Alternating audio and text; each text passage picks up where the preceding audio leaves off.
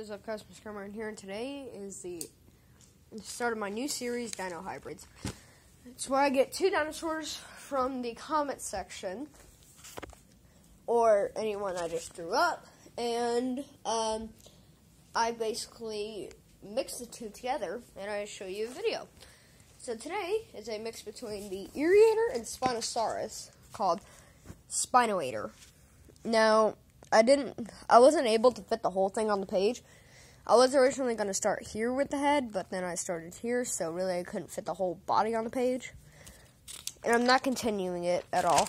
So, it's 80 feet long. And this is a normal human compared to the Spinoator. This was, yet, let alone a semi-aquatic creature, and my bad art. Uh, but I did draw some others that I will show y'all. So as you can see, he has the head crest of a Irriator, the actual crest of a Spinosaurus. Mouth of a spine. He has more Spinosaur traits, like Spinosaurus traits. That's an Irriator trait, I think. He has some Irriator traits and some Spinosaurus traits. These hands are a mix between it.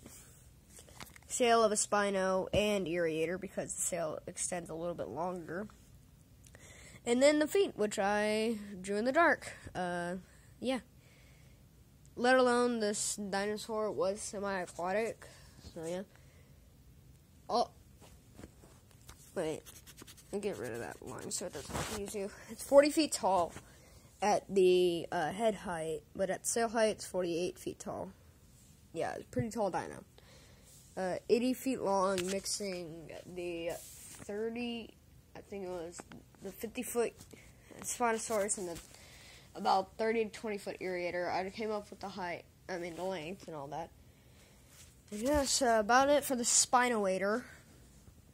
Um, yeah, I actually like how I drew the mouth and did really good on it. Like, comment, subscribe. Uh, next one's coming out real soon.